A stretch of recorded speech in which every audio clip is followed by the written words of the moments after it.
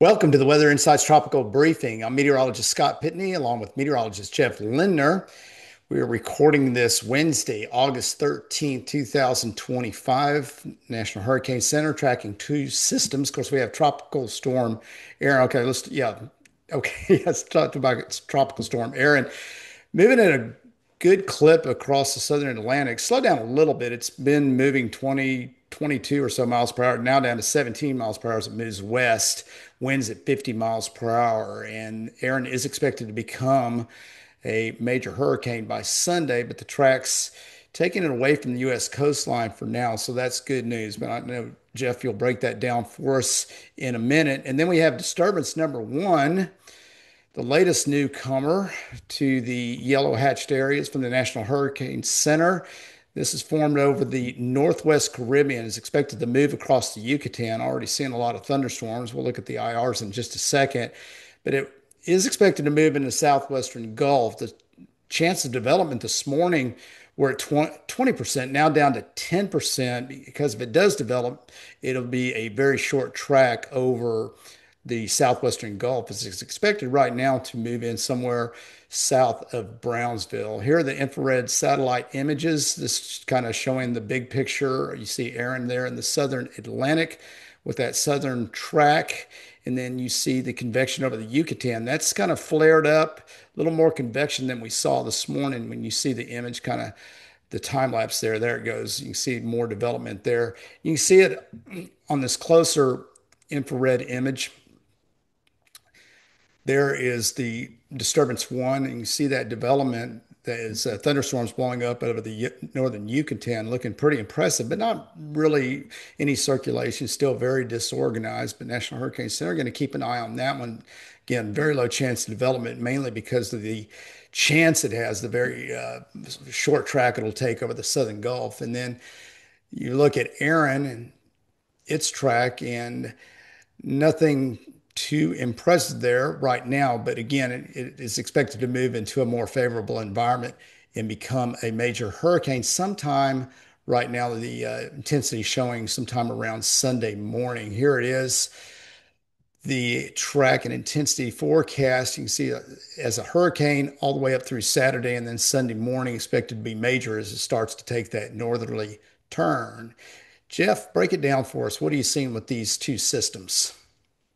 Yeah, I want to go back to the infrared here on the uh, wave here on the Yucatan. I'm going to switch this over to the actual visible imagery. So this is what the satellite actually sees. And you can see all these big thunderstorms here. Some of this is uh, heating induced uh, by the, the landmass here of the Yucatan um, heating. But if you look down here, there is some low level turning in the cumulus field uh, just along the Guatemala and Mexico border. And so it's not up here where where the surface low is, but it's actually a very weak surface low down here. And so this is Mm. moving out uh, over the Gulf of Mexico out here. And, and you can just see since it's so far to the south here, it just doesn't have a lot of time or water here. Even if it were to turn more to the northwest and come up in this direction, we're only talking 24 to 30 hours or so before this uh, reaches here the northeast Mexican coastline. And so there's just there's just not a lot of time. I, th I think if it had more time, and I'll never discount the the Bay of Campeche down here. This is a really Yeah. favorite area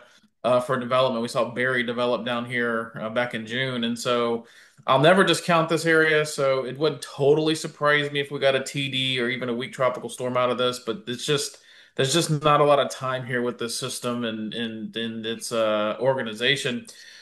So switching over to Erin out here, um, it's pretty much following along. So the this is all the ensembles and the deterministic forecast tracks. So the ensembles are all the little black lines in here, and then our major models here, the the GFS in green, the uh, European here in the red. We have the UK Met here in the blue, and the mean um, of all that here in this black line and these black dots are the National Hurricane Center forecast. And so you can see the Hurricane Center is pretty much right down uh, the middle of this, right along that ensemble mean or the consensus is what we call it, uh, through the period. But it gets a little bit interesting here. Um, you know, starting this morning, we started to once again see some deviations in some of the models, especially the European here, now bringing it a little bit further to the west. This is just one Mm. run, so it, it, it could flip back to the east here.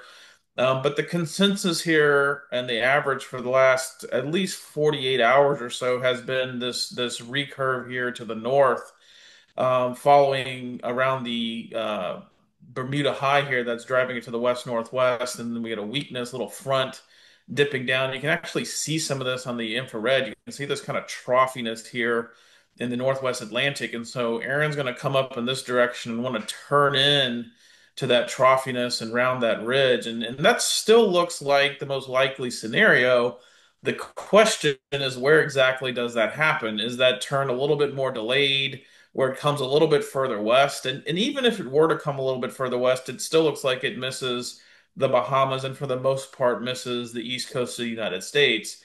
Um, but if we were to see some trends here and some shifts to the west, um, you know, we might have to keep a closer eye here on eastern North Carolina Yep. and some of these areas that kind of jut out here into the Atlantic Basin. Hmm. I also wanted to show you the the we've been kind of looking at this a little bit this this season. So this is a lot going on here. There's a lot of lines, a lot of colors, a lot of dots.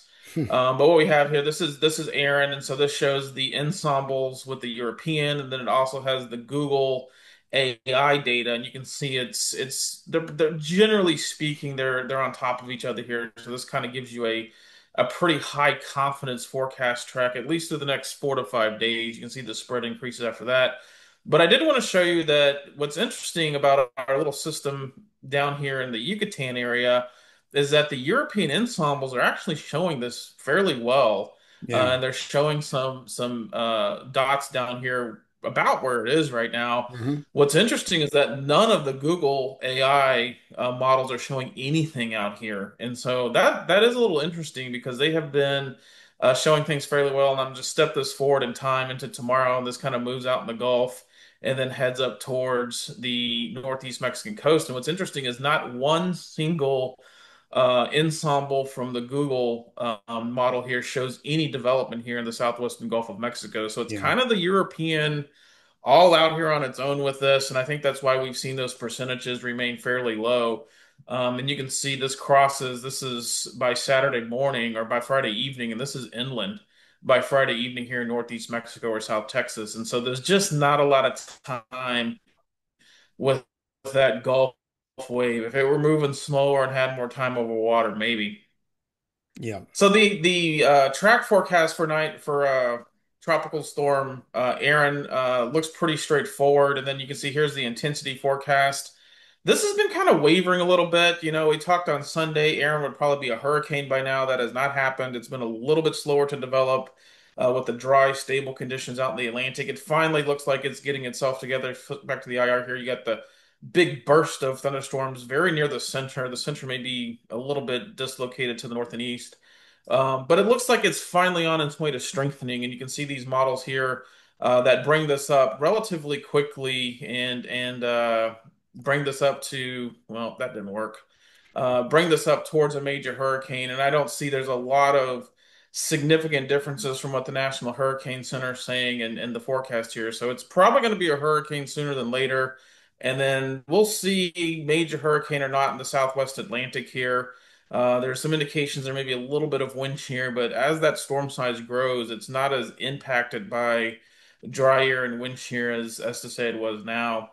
And then the last thing I'll show is those European probabilities here, so you can see, and I think this is probably a little bit elevated than what it actually is. We've been kind of talking about this. The Europeans been been uh, kind of overzealous, if you will, this year with development probabilities. And here's kind of another example of that buried down here in the southwestern Gulf.